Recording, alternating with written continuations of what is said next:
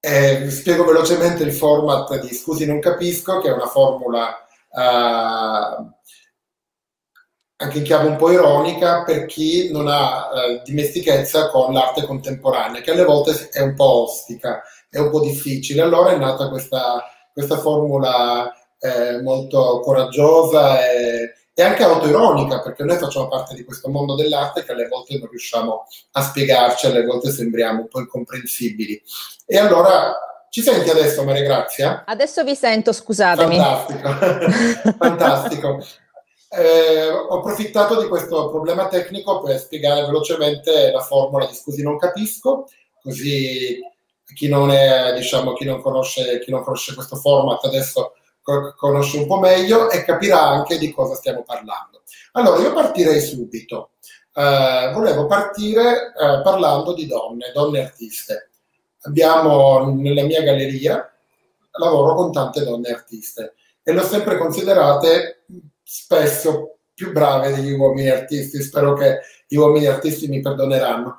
O forse eh, non è un problema di essere più, non è questione di essere più brave, ma forse toccano delle corde che mi toccano più profondamente, più intimamente.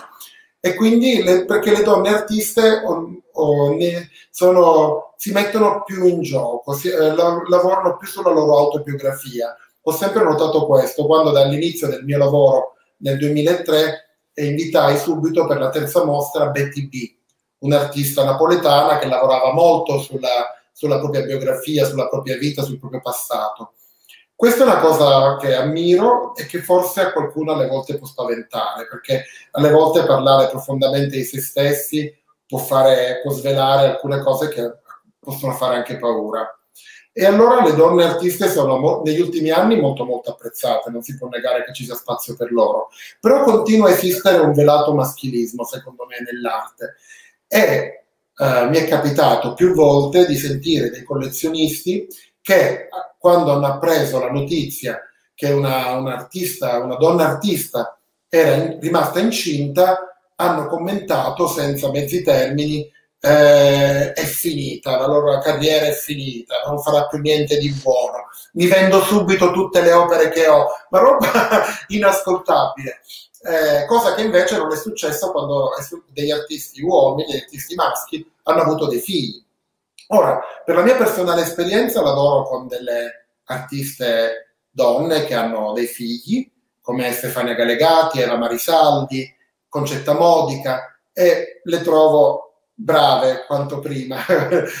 Forse alle volte anche i figli sono una, uno, uno, slancio, si, si, aprono dei mondi nel lavoro delle donne artiste che prima dei figli non c'erano e che, che sono apprezzabilissimi.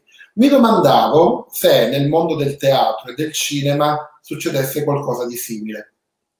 Assolutamente sì, anche quando io sono rimasta incinta la maggior parte delle persone hanno detto è finita, perché un po' è come se tu fossi eh, quasi una, un, un, oggetto che fini, si scompone, capito? E quindi non può essere più ricomposto, come se la maternità fosse un qualcosa che ti toglie al pubblico il fatto di essere, non so, un sex symbol, il fatto di essere, non sei quasi neppure più donna, sei madre.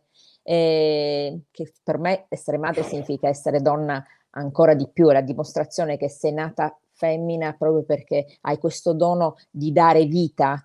E, anzi, addirittura c'è stato, ero sotto contratto con uh, per una cosa pubblicitaria c'è stato questo che poi ha rotto il contratto e mi ha fatto causa perché io nel frattempo ero rimasta incinta, cosa che poi comunque per fortuna c'è un, un, ci sono delle leggi adesso che tutelano le donne, soprattutto nel momento più delicato e importante della vita di una donna e comunque trovi sempre l'idiota, no? io vedo ancora oggi ci sono delle, delle persone che cercano delle, fanno delle richieste di lavoro, accanto c'è scritto no figli, cioè come se, eh, se, tu un figlio fosse un impedimento nel lavoro, quando poi alla fine una donna che lavora, la, anche se diventa madre, vuole rimettersi in gioco e lavorare subito, logicamente gli devi dare la, possi- devi dare la possibilità a una donna di, di, di, di il, di, sapere che tuo figlio sta in mani sicure e poter ricominciare a lavorare nel modo giusto, eh, non si mettono le mai le donne nella, nella posizione giusta di, di poter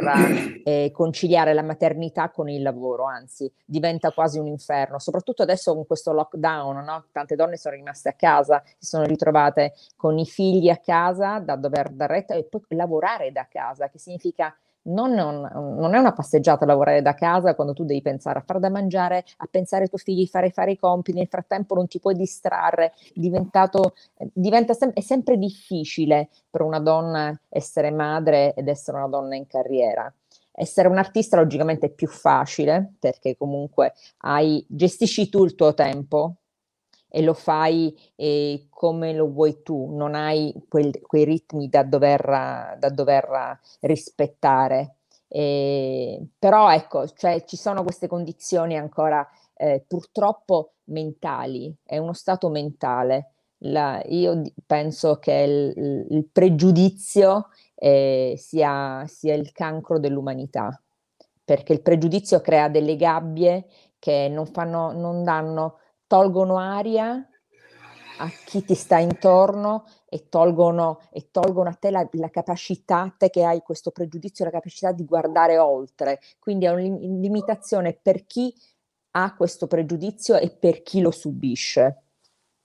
Sì, sì, il pregiudizio spesso è più irremovibile, più irremovibile di un giudizio, è una cosa rimane, però alle volte granitico, è difficilissimo da togliere, c'è tanto lavoro.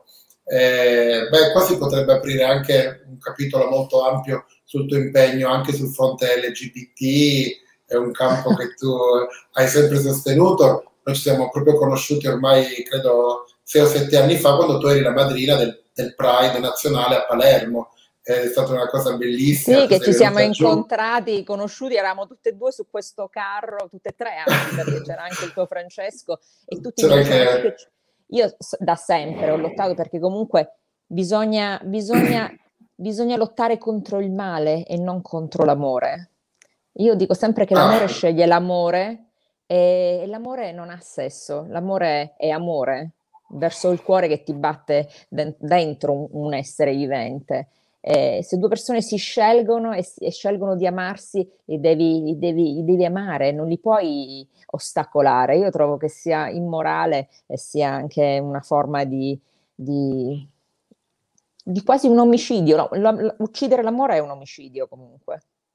Eh, è vero, uccidere l'amore è un omicidio e genera, e genera solamente odio, è una, diventa poi un processo inarrestabile di violenza e di odio non, eh, beh, c'è questa, um, uh, questo, come posso dire, uh, c'è un grande bisogno di amore, c'è un grande bisogno di diritti. Uh, e i diritti generano altri diritti, non tolgono i diritti a qualcun altro. Questa è una cosa anche molto importante che vogliamo sempre ribadire. Dare diritti a qualcuno non sottrae diritti a qualcun altro, anzi, spesso rafforza e incrementa quelli dell'altro. Eh, l'abbiamo detto e ci siamo spesi molto su questo aspetto, per esempio, della genitorialità per le coppie eh, omosessuali. Però vorrei tornare alla, all'arte.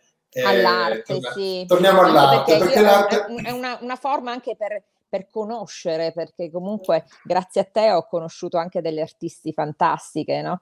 Tu mi hai fatto conoscere la Loredana Longo che ho cominciato ad amare grazie, grazie a te, che trovo fantastico, no? Perché poi cioè quest'artista che ha cominciato, tutti hanno il terrore delle bruciature, no? Quando ti casca qualcosa sul tappeto, attenzione che ti casca la sigaretta, la cosa, e lei ha fatto quello che era il terrore di tutti, la bruciatura, e quella bruciatura è diventata una forma di comunicazione pazzesca, perché poi tutte le frasi che sceglie sono dirette e, e sono lì, sotto i tuoi piedi, e, e, ti comunicano ogni volta che tu le guardi e sono bellissime. E ti devo dire grazie perché eh, trovo che sia veramente un, un, un messaggio, un tan- per me è stato un messaggio eh, che va al di là. Eh, perché ripeto, nasce dalla, da, da, quella che era dalla, dalla, preziosità di un qualcosa che tu tieni sotto i piedi, no? Perché comunque anche quella è una forma d'arte. Se tu pensi tutti quei nodini, ah, certo, tutti quei disegni,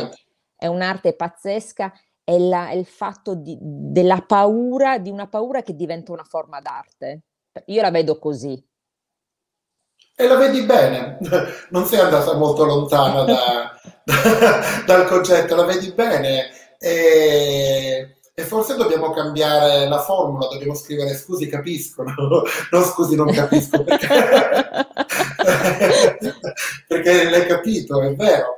La paura è, spesso è una componente che entra molto nel, nell'arte e alcuni artisti ci hanno lavorato hanno lavorato profondamente sulla paura, l'hanno indagata, la paura personale e la paura anche della società. L'hanno analizzata, l'hanno raccontata, a volte l'hanno denunciata. La paura è un, elemento, è una, un sentimento eh, spaventoso, proprio anche se un po' tautologico, però anche generatore di energia e generatore di creatività. Ed è, ed è verissimo e azzeccato molto bene che Loredana Longo nel suo lavoro usa la distruzione, usa la, anche una forma di violenza eh, per, che diventa creatività e, e, lo fa con un piglio e con una grande forza. Eh, che non voglio dire virile perché non mi piace categorizzare e perché come sai abbiamo detto più volte non mi piace mai usare espressioni eh, di, che, che, si riferiscono al mondo maschile verso le donne. Ti ricordi che ne parlammo del mio desiderio di togliere dalla faccia della terra l'espressione donna con le palle.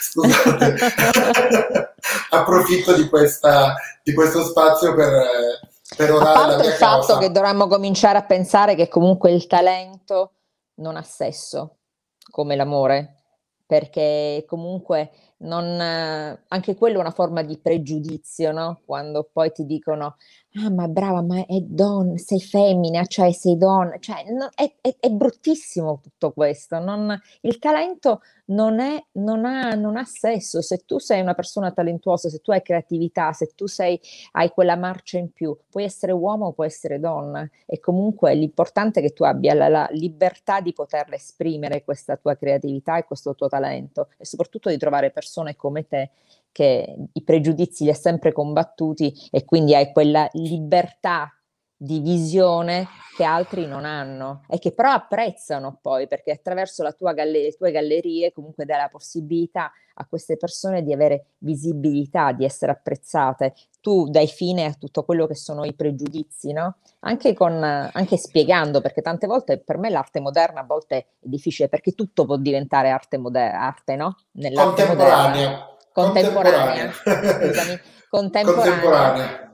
contemporanea. può essere tutto arte e, e, ci sono anche degli artisti che si spingono un po' troppo, altri dove, dove c'è secondo me un, spinti molto da un business perché anche lì ci sono logicamente tutti i campi, no? ci sono quelli che poi hanno, eh, vengono più sostenuti degli altri eh, e ci sono delle cose anche difficili a volte da, da capire. Chi Certo, e come e cosa, no? Siamo qui per questo, scusi, non capisci, non capisco, nasce proprio da, da quello che stai dicendo, è giustissimo, è vero, è verissimo. Alcune cose sono ostiche, forse alle volte la distanza che abbiamo dal, dall'opera è troppo ravvicinata. Non parlo di una distanza fisica, naturalmente parlo una distanza anche nel tempo. A volte gli artisti vanno molto più avanti di noi, alle volte gli artisti guardano oltre e non siamo pronti e poi piano piano lo capi- la società lo, lo, fa suo, lo acquisisce. No? Pensa, io immagino quando la gente vide le opere cubiste di Picasso, che cosa hanno pensato, ma andando anche un poco prima al Dada e al Dada anche in teatro, che eh, creava reazioni, generava reazioni così violente che tiravano le cose sopra, erano, eh, quindi sicuramente alle volte una distanza troppo ravvicinata in termini di tempo crea una, uno spavento nell'osservatore perché l'artista è andato già molto oltre. Passano gli anni e capiamo che cosa ci voleva dire l'artista qualche anno fa. Eh, però in, que- in, que- in, tutto questo alle volte è vero che si insinuano eh, anche degli artisti che non sono poi così, così, significativi, interessanti, o degli artisti che guardano più al business che non alle, all- all'arte. E allora lì hai ragione tu da, da fruitrice, da, da persona esterna al mondo dell'arte, hai ragione tu da persona, scusi non capisco, ad avere qualche dubbio, ad avere qualche perplessità su, su quello che è il nostro mondo dell'arte. E, ehm, volevo ringraziarti. Ma cosa, cosa ti colpisce? Come scegli tu? Cioè, eh, tu hai scoperto anche degli artisti, delle artiste. Da, come, eh, qual, è scopriamo... qual è la cosa che ti fa decidere lei funziona, lui funziona? Eh, siamo, in verità ci siamo scoperti con gli artisti reciprocamente. Io non, non, penso di essere in una posizione tale da dire tu sì, tu no, scoprire, non scoprire. Questa è una semplificazione, diciamo, che spesso noto e le persone pensano che alle volte le gallerie costruiscono gli artisti. Spesso è esattamente il contrario, sono gli artisti che costruiscono le gallerie, sono gli artisti che con il loro impegno, con il loro lavoro, con il loro mettersi in gioco danno visibilità alle gallerie e non il contrario. Le gallerie sono importanti quando hanno buoni artisti, quando hanno artisti importanti e non viceversa. Questo è molto, per me è molto importante e questo è anche la mia gratitudine verso gli artisti con i quali lavoro da anni e che hanno contribuito al mio piccolo successo e hanno contribuito anche al fatto che tu pensi che io li abbia scelti, invece sono loro che hanno scelto me e abbiamo lavorato insieme. Comunque se posso eh, diciamo rintracciare un parametro, per me è sempre il parametro del rapporto umano, perché la mia galleria nasce a Palermo, dove l'aspetto diciamo, economico, il business è quasi inesistente. Noi abbiamo pochissimi collezionisti e, vendiamo, e vendiamo pochissime opere. Allora eh, lì bisogna lavorare non guardando al, al, al, alla vendita, ma guardando a tutto, tutto, il resto che è molto più che la vendita. E bisogna guard- lavorare in sinergia e lavorare anche con l'amore per quello che si fa. Bisogna lavorare per la gioia di fare una bella mostra. Poi accidentalmente può succedere anche di vendere dei lavori, questo naturalmente è sempre importante, è, è, sempre un piacere ed è necessario perché gli artisti naturalmente vivono di questo e anch'io ci vivo. Però eh, quest, questa, la mia diciamo, origine è in una città non particolarmente eh, come posso dire, avvezza al, al business o al collezionismo, perché purtroppo da noi in epoca recente non c'è una grande tradizione di collezionismo come può esserci a Milano. E allora eh, di comune intesa con gli artisti con cui è nata la galleria, con cui cres- mh, mm, abbiamo lavorato in questi anni, abbiamo lavorato per, per quello che è l'essenza del, del, lavoro di una galleria, fare delle belle mostre, fare dei bei, dei bei lavori e poi si, si, e poi si va, diciamo, c'è l'opportunità di venderli. Questo ha fatto sì che ho, ho, so, ci siamo scelti con artisti che hanno sempre anteposto il piano umano, cioè una bella intesa, capirci, sentire, essere in sintonia. Per me la grande bella opportunità di capire il lavoro di un artista e il lavoro di un artista lo capisci tramite certamente le opere, ma lo capisci anche tramite le lunghe conversazioni, le, le cene, i pranzi insieme, le colazioni, le ore spese insieme, le, conver- le conversazioni, qualche litigio. eh, qualche Però bicchiere... io da siciliana ti devo dire grazie del fatto che tu abbia scelto di restare giù in Sicilia perché comunque eh, è un'opportunità che tu dai anche ai giovani, anche ai siciliani, no? Perché è facile andare via dalla Sicilia, io lo so, io l'ho fatto.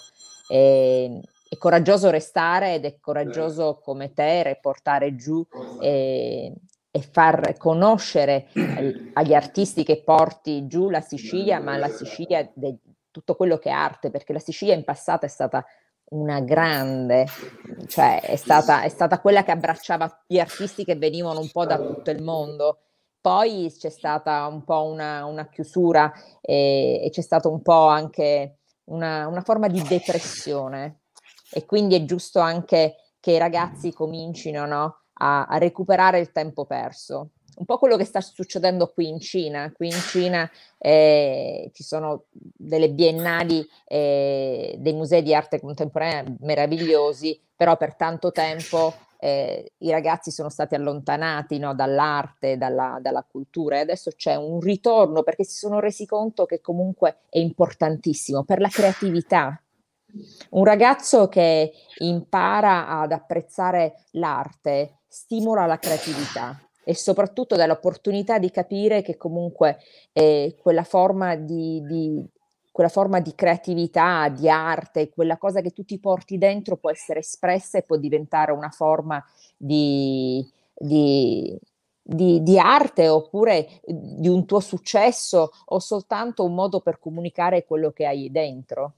Maria Grazia, mo, sincer- molto sinceramente, pensi che questa creatività eh, noi, cioè, la, l'idea che abbiamo noi della Cina non è una, una, nazione che dà tanto spazio alla creatività, ci sembra che ancora oggi sia una nazione o un grande Stato che invece tenda un po' più a, a comprimere i propri eh, cittadini. Sì, però c'è, c'è un, tra i giovani c'è una voglia, ci sono degli artisti fantastici, veramente fantastici qui e logicamente devi rispettare quelle che sono le regole, ma se tu rispetti le regole poi alla fine hai una grande libertà, sei molto più libero del, della libertà che ti fanno credere di avere che poi non c'è perché poi da noi c'è una libertà immensa che viene, che viene, invece censurata da ogni forma di pregiudizio, da ogni forma di, di non dico anche di razzismo personale, che non va per il colore o nazionalità, proprio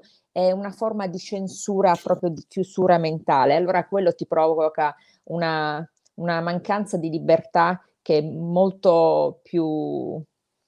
Eh, è molto più elusiva, no? Perché ti, ti, fa credere e poi non ti dà. Qui sai, sai quali sono i tuoi paletti. Se tu stai dentro quei paletti, hai il massimo della libertà perché ti puoi esprimere rispettando eh, quelle che sono. Il problema, però sono, il problema però sono quei paletti, sai.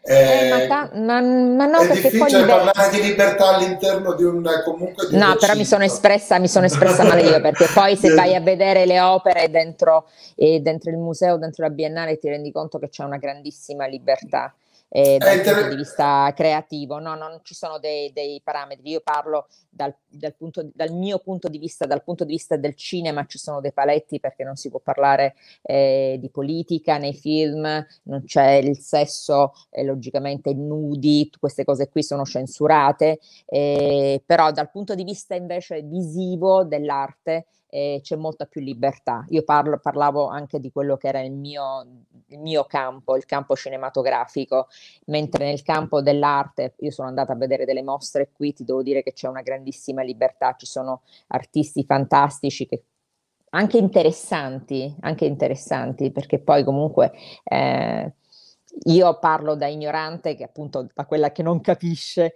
che si lascia incantare, perché poi è un modo per me per capire cosa, per me è un modo di comunicare l'arte, no? Io quando guardo, guardo quello che l'artista mi vuole comunicare, quello che io capisco, logicamente ognuno ha le sue linee e, e, capisco e non capisco, poi dove non capisco chiedo, chiedo a, chi ha, a chi sa più di me. Eh, però devo dire però che... ti devo dire che purtroppo uno dei più famosi artisti cinesi che Ai Weiwei è stato in carcere, è stato un dissidente, insomma, non è che abbia avuto vita facile, eh, quindi um, è, apprezzo molto interessante questo punto di vista che dall'interno tu non solo sei eh, in Cina in questo momento, ma sei anche in Cina per un lavoro creativo, quindi sei veramente profondamente dentro al sistema creativo cinese in questo momento. Per cui è una testimonianza molto preziosa per noi che siamo lontani eh, sia fisicamente ma che forse anche concettualmente. Una relazione c'è una gran voglia, c'è una gran voglia di, di, di, di, integrarsi, c'è una gran voglia per i ragazzi di, creare, è logico. Tutte, tutte le cose vanno fatte a piccoli passi perché altrimenti crei il caos e crei le barriere. Eh, però è un modo, io sono appunto, non ho mai avuto pregiudizi nei confronti loro e ho sempre rispettato quelle che erano le loro, le loro scelte e secondo me eh, solo così, un po' assecondando, un po' cercando di, di, di scambiarci, no? soltanto il fatto di, di, avere un contatto poi è un po' come l'equazione di Dirac, io ci credo molto in questa cosa, no? che quando due, pers- due, due corpi si incontrano, si scambiano un qualcosa e si arricchiscono l'un l'altro e diventeranno per sempre uniti, no? Ed è per me questa qui è, una, è, è, il fatto che comunque gli scambi, il portare la piccola, la piccola differenza alla fine eh, si insinua e, e, porta dei cambiamenti. Logicamente le cose vanno fatte sempre con, con grande pazienza e, e al tempo giusto. questo è molto vero, questo è molto vero, è, è, è, l'espressione insinuarsi, entrare goccia a goccia è un'espressione molto corretta e, molto giusta perché eh, spesso le, le, rivoluzioni più deflagranti poi non, non, non sono così durature come invece dei cambiamenti lenti, lenti ma irreversibili. Continui. Ecco, sì. Continui. E, ed è molto vero anche che questi cambiamenti vanno fatti dall'interno. Quindi il fatto che tu riesca a essere in questo sistema e col tuo contributo, con il tuo pensiero che di donna libera e con tutto quello che abbiamo detto anche prima riguardo ai diritti civili e ai diritti LGBT che in Cina in questo momento non so come sono considerati, però sicuramente tu sei una che porta il tuo pensiero quando puoi e sono certo che ti spingi e cerchi di instillare piano piano qualche, sai, du- qualche il dubbio. confronto serve sempre il confronto anche con un'altra, con un'altra cultura con, un'altra, con un altro modo di, di, di, pensare però devi andare ho imparato a essere molto diplomatica io lo, lo, sono stata sempre molto poco nella mia vita sono stata sempre una molto irruente eh, che volevo a tutti i costi imporre quello che era giusto ma poi era giusto solo per me e se tu imponi poi alla fine vedi rischi di fare rischi di fare dittatura. Quindi... Esatto, esatto, esatto. Quindi diventa... Ho imparato, ho imparato a, a, a, lasciarmi conquistare anche delle differenze di, di mentalità, di, di, capire anche dove sbagliavo io, oppure far capire dopo che poi ci, ci sono altre visioni. E, e, comunque quanto mi piacciono quelle scarpette rosse dietro di te, guarda. Eh, di sai infatti... che ho avuto, a proposito di scarpette rosse, io ho avuto il grande piacere di, di fare una lettura alle Nazioni Unite con la Marina Abramovic. Ah, e, parlando di artiste donne. Eh, ed è stato molto molto emozionante perché eravamo tante attrici eh, che leggevano dei pezzi del, di, un, di, un, libro eh, proprio sulla violenza ed è arrivata lei, mentre tutti quanti indossavamo queste scarpette, lei è arrivata e queste scarpette rosse l'ha messe a terra davanti al microfono, è ritornata dietro, ha fatto, ha letto il suo pezzo e, e lì riconosci l'arte, lì riconosci l'arte perché lei è riuscita a, a fare la sua piccola installazione, no? E anche con, con, un semplice paio di scarpe a fare tutto quello che noi avevamo fatto, lei l'ha fatto in un modo diverso ed è diventata arte. E, e sono contenta perché anche lei è, è, stata una che per me è, è, è stata coraggiosa, no? Perché Beh, sì, ha messo... si è messa cioè... molto in gioco lei, con, eh, anche ha spinto il suo corpo a, verso eh, soglie di dolore, di sacrificio, eh, di perseveranza. Uh, lei è certamente un monumento uh, dell'arte contemporanea, è una figura molto ampia, con eh, anche aspetti controversi, ma chi non ce li ha però è assolutamente un colosso ed è bellissimo. Sai che pensavo quando tu dicevi che lei ha messo queste scarpette rosse, no? Questa attenzione era focalizzata sulle scarpette rosse, ma in verità io immaginavo la portata del gesto fisico di questa donna che si sa muovere, cioè una grandissima consapevolezza del suo corpo, dei suoi movimenti, del significato dei gesti. Quindi queste scarpette rosse in verità erano proprio uno strumento nelle mani di una di un artista di una grande, con una grande creatività e con una grande espressività. Io immagino che questo gesto sia stato di una potenza significativa per ricordarcelo ancora, no? Cioè, la, tu ricordi il gesto, ricordi che lei si mosse, è arrivata, poi se lo sintetizza in queste scarpette rosse, ma fondamentalmente lei ha fatto proprio una performance, ha fatto quello che è il suo lavoro, sì, sì, che è la sua vita, la, sua, la totalità ha fatto un qualcosa, ripeto, che era tutto, io l'ho, l'ho osservata, l'ho rivista, perché poi l'abbiamo fatta più di una volta questa lettura, quindi l'ho, ho avuto il piacere di, di riguardarla. E lei era, era, un tutt'uno, capito? Non era soltanto andare lì, appoggiare le scarpe e far, no, lei appoggiava le scarpe, cioè c'era un tempo dove tu comunque avevi la prima emozione, poi ti guardava e guardava tutti guardava tutti e credimi, ogni sguardo diventava un colpo al cuore e dopodiché ritornava e tutto era, era, era meraviglioso e, e, devo dire, Grazie perché io l'ho vista, l'ho, l'ho, mi è capitato di, di vederla, no? sai, documentari, cose che fanno in, su Sky Arte, eh, e vista dal vivo ha una potenza pazzesca, pazzesca. Ecco, ci credo, sono contento. Eh, anche ieri sera, per chi ha visto un programma nazionale popolare come Sanremo, però la, quel colosso di Loredana Bertè appoggiato sul palco un paio di scarpe rosse.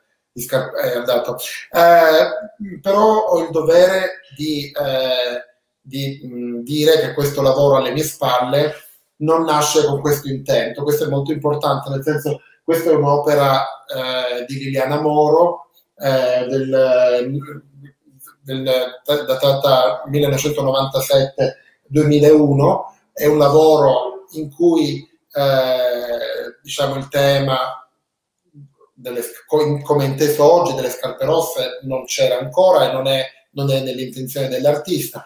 Però è un'opera, eh, è un'opera potente, è un'opera bellissima di un'artista donna bravissima. E, e mi è sembrato molto bello questa, anche questa idea di questa lettura che potevamo avere di questo lavoro, una, che non è nell'intenzione dell'artista, ma questo lavoro si presta anche a questa lettura e ci dava uno spunto per confrontarci su un tema che so che a te è molto caro, che appunto abbiamo l'ha introdotto prima accennando il riferimento alle scarpe rosse, il tuo impegno enorme sulla, uh, contro la violenza sulle donne, che è una cosa mostruosa. E, ecco lì veramente io devo dire scusi, non capisco, perché veramente non capisco come si può fare male a un essere umano e a una donna ma non si, non si capisce perché comunque qualcuno possa pensare di appropriarsi della tua vita, di essere proprietario di un corpo. Eh, non, una donna ha, ha la, la, generosità di annullarsi quando si innamora e, e, questo è meraviglioso quando incontri la persona giusta perché diventi un tutt'uno con l'altro. E il problema è quando incontri la persona sbagliata, che può capitare a tutti, no? Perché tante volte c'è il pregiudizio che si dice che solo le donne che crescono in povertà o con livello sociale basso si possono ritrovare in delle condizioni di violenza. Non è così, eh, in tutti questi vent'anni di lotta alla violenza mi è capitato di incontrare eh, donne di qualsiasi livello sociale, di qualsiasi cultura, manager, eh, casalinghe. Eh, non, la violenza purtroppo ha, è molto democratica, colpisce, senza, colpisce il cuore. Io ho chiamato, ho scritto un libro adesso che si chiama Vite senza paura eh, perché ho voluto raccontare di queste donne, di cinque donne diverse tra di loro, proprio donne che si sono ribellate, che, che ce l'hanno fatta, che si sono salvate proprio per dare un messaggio alle donne e dire non accettate mai, non sentitevi stupide, non, non sentitevi sbagliate. E cioè le donne a volte si vergognano di dire che subiscono violenza perché si credono non all'altezza, ormai si credono che di, sono talmente mortificate, svuotate, che non hanno neppure più la, la, la percezione dell'essere, di essere vive. E, e questa è una cosa che non bisogna mai accettare. Io dico sempre che le donne devono denunciare, devono avere la forza di, di, di, di, scappare via, di scappare via perché una volta scappate via si riacquista quella, quella visione reale e quindi si può ricominciare a vivere. Eh, lottiamo tutti i giorni, guarda, in queste settimane purtroppo sono state tante le donne che hanno perso la vita e continuano perché comunque questo stato di pandemia ha portato uno stato anche di crisi economica e l'uomo purtroppo, l'uomo vigliacco si rifà si rifà su, sul, con la sua potenza fisica eh, per le sue frustrazioni do, sulla donna e quindi esatto. tante donne hanno perso la vita, tante donne durante il lockdown hanno sofferto, hanno, sono state massacrate, hanno massacrato di botte anche i figli che si ritrovavano a casa. Insomma, la violenza purtroppo è anche lì uno stato mentale, è un cancro che va, che va estirpato dalla mentalità e soprattutto dall'educazione. Noi mamme dobbiamo insegnare, no, noi donne per prime dobbiamo insegnare ai nostri figli a non aver paura di amare, ad, a rispettare le donne, a essere noi stesse le prime a non puntare il dito perché noi donne abbiamo il brutto vizio di avere sempre la, quel, quella, quel vermetto dentro della, de, della rivalità tra, tra donne, no? Se vedi una donna bella, la prima cosa che fai, lo vedo, no? Perché la maggior parte io vedo, studio questo anche sui social, eh, quando c'è una donna bella sono tante donne che insultano, che denigrano, che cominciano a dire se è rifatta, eh, se è brutta. Non, le donne non sanno essere complici delle donne. E questa è una cosa che dobbiamo imparare a fare perché solo questo ci può salvare dal, dal non essere il sesso debole. Questa fa parte della nostra grande debolezza. Essere sesso debole significa non avere, non avere più pa- avere paura della, del, dell'altra, dell'altra donna e non essere capaci di essere complici, di apprezzare la bellezza. Io ringrazierò sempre mia madre che a 91 anni e con una quinta elementare mi ha insegnato ad amare il bello, a non essere mai invidiosa, ma amare il bello perché lei mi diceva guarda, la cosa bella ti mette allegria ed è vero, ti mette allegria e ti riempie il cuore. E questo grande insegnamento di questa donna semplice, e senza grandi insegnamenti, mi ha salvato la vita perché io amo, amo il bello, amo le belle donne, amo, amo la bellezza perché per me è stata una forma di creatività, di gioia del cuore. Bellissimo. Bello, bello, bello questo passaggio anche da mamma a figlia, da donna a donna, sempre di questa grande forza. Ma eh, mi piaceva quell'idea che dicevi, eh, cioè sradicare la violenza da parte dei, degli uomini verso le donne è un lavoro eh, che bisogna farlo quotidianamente e anche partendo da aspetti che alle volte non si immaginano che contengano questa forma di violenza. Parlavo con un artista eh, che si chiama Stefania Galegati, con la quale lavoro da tanti anni e che è anche una mamma di due figli stupendi che io ho visto proprio nascere, crescere. E, e Stefania mi, mi, raccontava del suo impegno per combattere questi tremendi abbeceddari o libri di scuola in cui c'è il papà lavora, la mamma stira, il papà legge, la mamma cucina cioè in cui già c'è una classificazione fortissima in cui si generano delle categorie di pensiero in cui il papà è preposto a fare un tipo di attività e la mamma sempre quelle. E quindi i bambini crescono con questa... Eh, Stefania lotta contro questa da tanti anni. Io, mio, mio marito ed io facciamo parte anche di questa sua lotta perché abbiamo eh, passato tante ore insieme in cui ci siamo divertiti da morire però io sapevo che in quelle ore che noi stavamo insieme, e lo sapeva anche Stefania, c'erano questi bambini che crescevano vedendo due uomini, mio marito ed io, che si volevano bene e quindi costruivamo insieme un futuro senza preconcetti per eh, Ma quello, quello che è stato anche per mia figlia. Mia figlia è cresciuta con a casa amici che venivano e comunque mia figlia oggi è la prima che lotta contro questi, questa forma di pregiudizio e ha 19 anni. E e le ho dato la libertà eh, di, vedere, di vedere le persone, di vedere le persone, di vedere l'essere umano, perché ci dimentichiamo no? che poi lottiamo contro tutto questo, ma noi lottiamo contro la vita. Ogni essere umano è una vita, noi dobbiamo vedere le vite, non dobbiamo vedere quello che poi ricopre le vite, che possono essere eh, pelli di ogni colore, capelli di ogni colore, vestiti come vuoi, firme, non firme. Noi, noi siamo vite, e dobbiamo amare la vita. È verissimo. Dopo queste parole è difficile.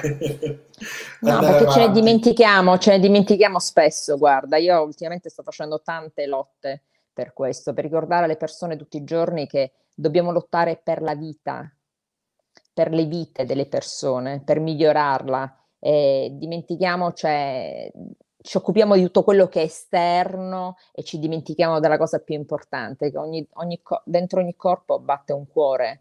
Eh, il, mio, il, mio, libro inizia con un tun tun tun, perché il cuore è la prima cosa che si forma in un essere umano e quel cuore predominerà sempre su tutto e ce ne dimentichiamo. Ce ne dimentichiamo troppo spesso perché non lo ascoltiamo più il cuore. E quindi quando tu smetti di ascoltare il cuore, eh, diventi un essere, un essere, un robot.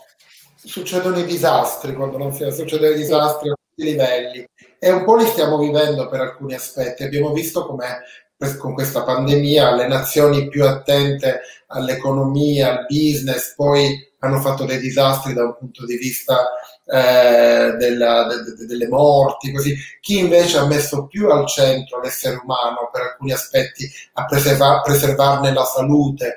Eh, con, adesso è un argomento molto spinoso perché si entra nella politica e lì è sempre difficile, però eh, abbiamo visto che in Italia, nel bene e nel male, eh, apri, chiudi, apri, chiudi, si è cercato in qualche modo di preservare la salute dell'individuo, lo sforzo enorme da parte di chi ci governa, ha fatto bene, ha fatto male, è difficilissimo giudicarlo in questo momento, però eh, era uno sforzo secondo me mirato a preservare la salute, quindi ci chiudevano in casa, mettevano mascherine per rispetto di chi da que- per questa, questo virus può anche, poteva, può anche morirci, le persone che possono... No, no, ma questo virus colpisce, colpisce tutti, purtroppo tutti, il non tutti. rispettare, sai, poi ci sono quelli che pensano di essere di essere fighi quando non mettono la mascherina oppure infrangono le regole, non capiscono che questo è un virus molto pericoloso.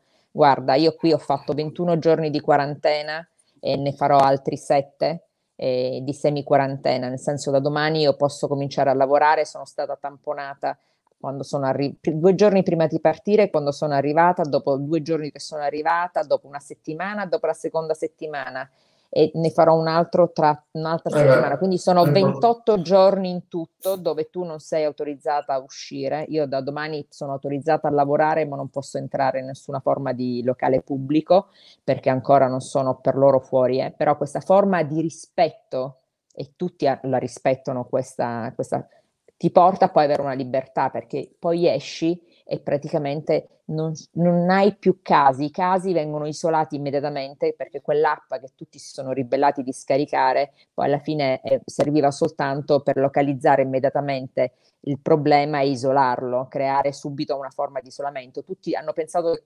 ognuno si volesse occupare della vita degli altri, quando poi chi ha un, uno smartphone è già controllato, perché se tu ben sai, siamo super controllati. Volendo, Assolutamente. A chi, ma non puoi controllare 60 milioni di persone, no? Esatto. Poi alla fine esatto. diventerebbe una spesa enorme, enorme. Sopra... Tutti pensiamo di essere così egocentrici da pensare che tutti vogliono interessarsi della esatto. vita dei segreti nostri. Esatto. Ma soprattutto chi gliene frega sapere cosa fa Francesco. Ma capito.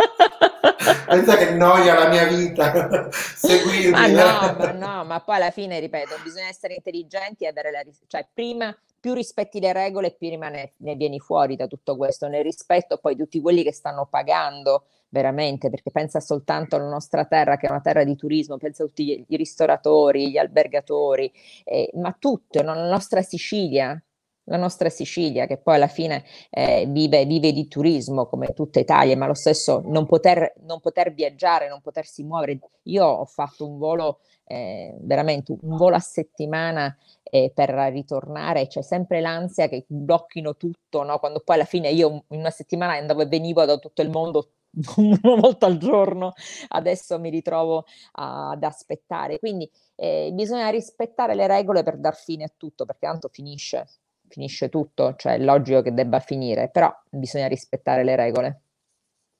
Bisogna, bisogna rispettarle nella vita, ma infrangerle poi nell'arte. Nell'arte, tirare... certo. infrangerle continuamente per creare qualcosa di, di nuovo.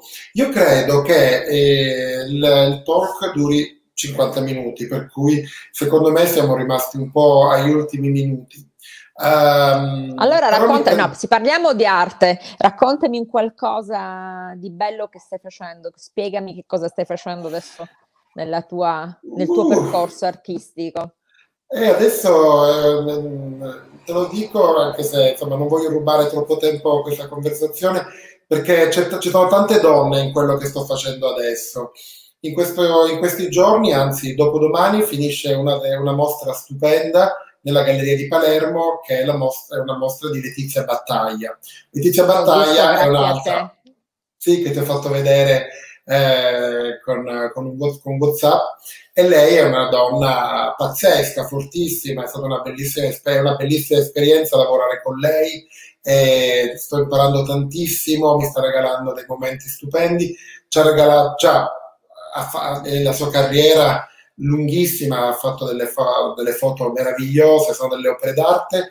E abbiamo una, la mostra che abbiamo in galleria che l'ha curata un'altra donna che si chiama Agata Polizzi che collabora con me tantissimo e da tanto tempo, è una mostra sull'amore. Abbiamo chiesto a Letizia, un, che è famosa per i suoi scatti eh, che raccontano gli anni Di peggiori della Sicilia, la cronaca, la violenza, eh, della mafia sulla nostra terra, invece abbiamo scelto con Agata e Letizia, anzi Agata e Letizia hanno scelto ehm, delle immagini che parlassero d'amore. Questa è stata un'esperienza che si, una, una mostra che si sta chiudendo in questi giorni e che è fantastica. Mentre a Milano eh, inauguriamo martedì, ma sarà una piccola, non sarà un'inaugurazione, ma semplicemente apriremo la galleria, non, in questo periodo non si possono fare inaugurazioni, con due donne di due, arti, di, con due opere di due artiste donne, che sono Mona Tum e Loredana Longo. E c'è una terza donna, c'è Agota Christoph. Uh, abbiamo, iniziamo questo ciclo che si chiamerà Trisom. Io penso che tu sai cos'è un Trisom. Mm-hmm. no. Perché no? Il trisom è un'espressione inglese che diciamo indica un, un, un, un gioco, un'attività fra tre persone. Questa è l'origine del termine. Nell'accezione comune è diventata una forma di equilibrio affettivo, cioè una coppia, diciamo, una, una, formata da tre persone, come posso dire, tre persone che si amano. Non so se mi spiego, un nucleo no, no, di innamorati. Spieghi, spieghi. tre, tre, persone che scelgono di amarsi, possono essere due, due uomini e una donna, come in Jules Jim, il film di Truffaut, possono essere due donne e un uomo, uh, possono essere tre uomini, eh, o tre donne. È un nuovo, una formula che si sta sempre più, che stiamo incontrando sempre più spesso di, di persone che scelgono di amarsi in tre. E, e abbiamo scelto questa, ho scelto questa, questo termine, threesome, per una serie di appuntamenti che vedranno appunto la relazione fra tre soggetti. Eh, un artista della galleria, un artista esterno alla galleria e una, un testo letterario, un autore letterario che accompagnerà la, diciamo, la, il progetto, quindi la, tramite la lettura si entrerà in quello stato di percezione delle opere che esporremo. Questo è un progetto che parte martedì e che proseguirà più avanti con altri abbinamenti eh, abbastanza inediti, interessanti anche fra artisti molto molto giovani, con artisti meno giovani, provenienti da nazioni diverse. È una cosa, è un progetto che mi, mi entusiasma mi eccita Bello. molto e che... Ne voglio far parte, eh? così, così Ah, capisco, capisco. Sarebbe In bello. qualche modo. Ma ne, ne farai parte, ne fai parte già coinvolgendoti nella, nella- nel racconto e, e fa- ma troviamo una formula per integrare il teatro. Io ti ho vista in teatro, è bellissimo, sei bravissima. La mia poi- parte comica che nessuno aveva visto mai. Devo dire che anche lì ho debuttato a 50 anni, ho vinto la paura. Io penso che vincere le proprie paure sia una grande forma di libertà. Io mi sono portata questo fantasma della, della fobia del palcoscenico per anni, data dalla mia grande timidezza, dalla mia grande insicurezza forse. E sono contenta perché una volta che tu ti apri, rinasci, ri- è Altro rinata una nuova Maria Grazia con una, con una nuova forma perché è, è è uscita fuori dal- da quel guscio che ha lasciato e, e- e mi sono rinnovata di una sicurezza e soprattutto di un'arte che mi mancava, che era quello del teatro, perché ogni forma d'arte ti arricchisce e ti, e ti genera, ti genera quella- quelle emozioni che, che sono meravigliose, ti danno quelle sensazioni cerebrali che, che sono secondo me forma, la forma di droga più bella del mondo perché è gra- gratis per tutti, la puoi creare ed è, ed è dentro di te, resta, ti dà una dipendenza pazzesca perché ti dà dipendenza dal- per il bello, per, per tutto quello che tu riesci a rubare con gli occhi e farne sensazioni meravigliose. Che bello, che, bella, che bello slancio. Grazie Maria, grazie. Ti ringrazio tantissimo di questa bella conversazione. Grazie a te, Eh, grazie a voi. Grazie veramente alla Fondazione Merz per avermi dato la possibilità stasera di passare una serata meravigliosa eh, con un amico. Tanti auguri, buon compleanno. Ti Grazie. voglio bene. Anche io ti e... voglio bene, grazie, grazie. Che bel regalo di compleanno che ci siamo fatti. Anzi, che mi avete fatto, ma... Eh, ok. Lo meriti, te lo meriti. Grazie mille, grazie, grazie a tutti. Grazie. Eh, viva l'arte! Assolutamente. viva l'arte! Arrivederci.